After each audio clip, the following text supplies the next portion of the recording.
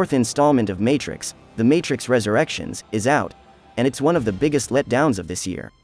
Keanu Reeves is back with cyberpunk icon Neo, but fans of the original will find this cynical reboot a bitter pill to swallow.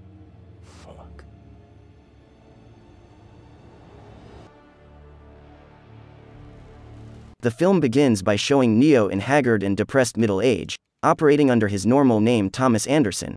He is an award winning game programmer.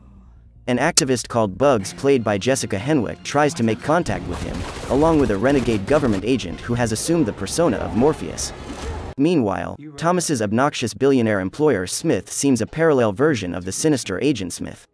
But Thomas's analyst is on hand to assure him that this is all just his imagination.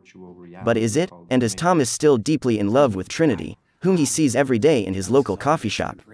The film is all about reuniting Neo and Trinity. For Matrix enthusiasts in India, the new film has Priyanka Chopra Jonas in the guise of Sati. She had an important role that makes an impact despite its limited length. The character, who has every reason to throw her lot with the rebels, guides Bugs, the captain of the Mnemosyne, and her team led by the operator Sequoia, to mount a sortie to reunite Neo and Trinity. Experiencing the Matrix Resurrections is like watching a star athlete come out of retirement. It shows flashes of what made it special, but it's mostly a shadow of its former self. The action is downright messy, a clumsy clutter of over editing and half assed punches.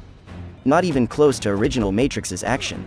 The Matrix Resurrections has big, bold ideas that it doesn't succeed at executing.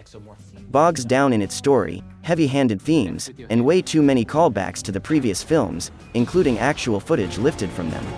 Whereas the first film had exciting action and special effects, here it feels rote and far too heavily edited. The Matrix Resurrections is a recycling dump of murky effects, indifferent action, and a crazily cluttered, relentlessly repetitive narrative. It is best to avoid watching this movie.